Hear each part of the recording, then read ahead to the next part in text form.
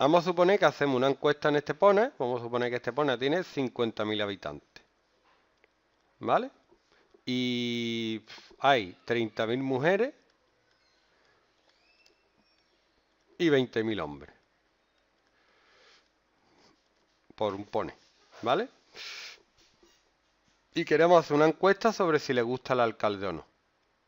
¿Te gusta el alcalde o no te gusta el alcalde? ¿Sí o no? Tampoco vamos a ir mucho más lejos. Entonces, eh, si tú quieres sacar un poquito más de información y saber si le gusta más a las mujeres o a los hombres, en la encuesta no puede coger a la gente al azar, porque a lo mejor coge una muestra de mil personas y los mil te salen mujeres.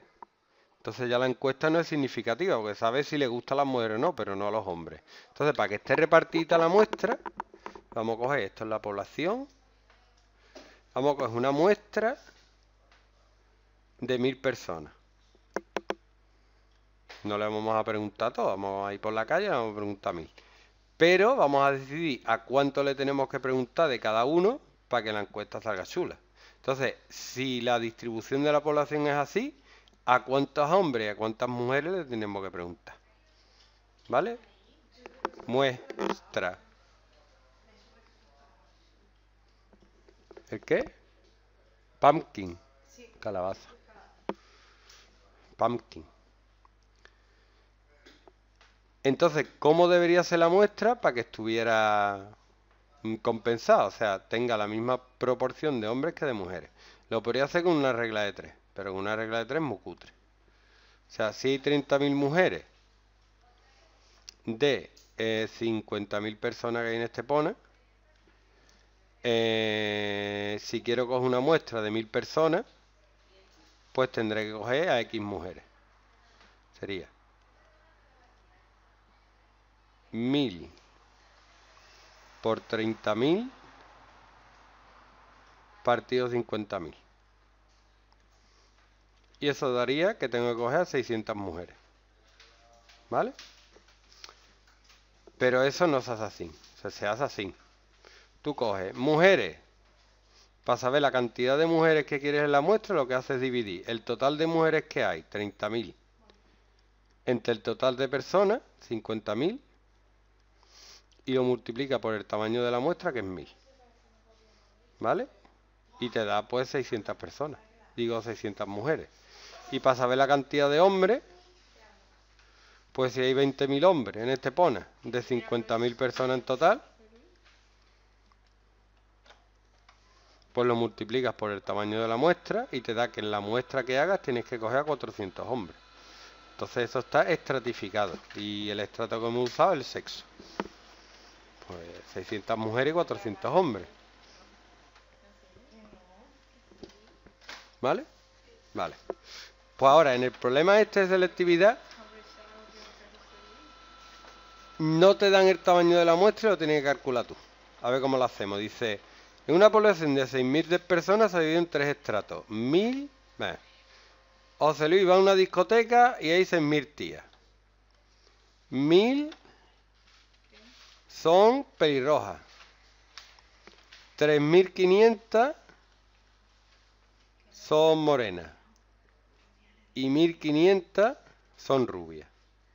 Y ahora me dicen, en esa población se ha realizado un muestreo estratificado con afijación proporcional, en la que se han elegido al azar 15 personas del tercer estrato. O sea que me están diciendo que la muestra de rubia es 15. Y lo que me piden es el tamaño de la muestra. ¿Vale? Entonces, como yo sé que 1500 entre 6000 por el tamaño de la muestra tiene que ser 15, despejo la X y ya está. Porque me piden el tamaño de la muestra. Antes lo que he hecho es dividir el total de rubias entre el total de personas por el tamaño de la muestra me dice el número de rubias que tengo que coger. Y aquí me piden el tamaño de la muestra. Entonces el tamaño de la muestra sería 6000 por 15 partido 1500. O sea, 60 personas para mi en personal. Pues claro, yo, quiero el harén mm, repartido, ¿vale? Que haya la misma proporción que en la discoteca, ya ya lo colegio.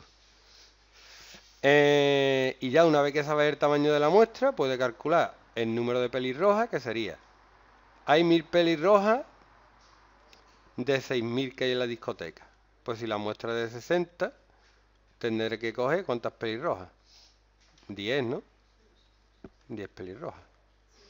Y para saber el número de morenas, pues si hay 3.500 morenas de 6.000 y la muestra es de 60, tendré que coger 35 morenas. 35 morenas más 10, 45 más 15, 60. Pues 60, para mi harén. Y me falta nada más que coger un par de eunucos. ¿Sabes lo que es un eunuco, no? ¿Qué? Un eunuco.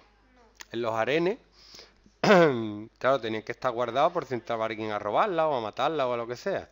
Entonces el rey, el sultán o el que fuera, cogía dos tíos, le cortaba los huevos y los ponía en la puerta. Los tíos que cuidaban a las tías obviamente no podían ser hombres, porque si no las tías se volvían locas, se senta allí sin un hombre, que es uno nada más, que es rey, que cada noche elegía una, pues entonces a los tíos que las cuidaban les cortaban los eunucos y hablaban así, y yo soy eunuco. Sí, bueno, cuando te cortan los, los huevecillos se te queda la voz así.